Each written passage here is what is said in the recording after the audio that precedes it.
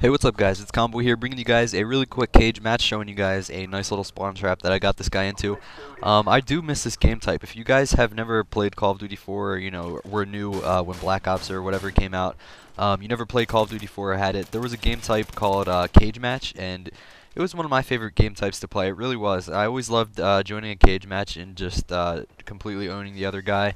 Um, I don't know what what about it made me feel so good. I guess um, you know that I rarely lost them. I think I only lost like probably I could count on like two hands the, the cage matches that I've lost um, in Modern Warfare Reflex. But it was just a lot of fun.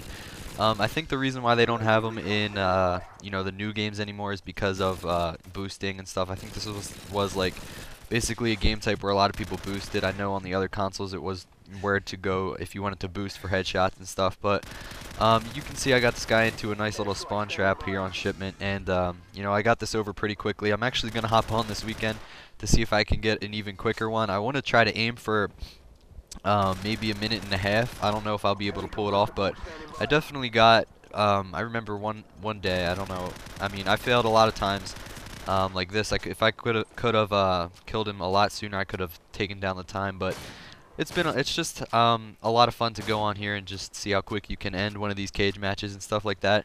Um, I I end this one pretty quick quick, but uh, like I said, I'm gonna try to go on this weekend see if I can get a quicker one for you guys. Um, but you know, I wish I wish they did bring back the cage match. It was a lot of fun, and uh, it was like old school. So you couldn't pick a class. You had to pick up weapons off the ground. You had like double jump and all that kind of stuff and it was just a lot of fun, especially on uh, shipment. So, anyway, guys, that's just a little quick video I wanted to bring you guys. What are your thoughts on cage matches? Do you want them to return in future games, or do you want it to stay uh, without them?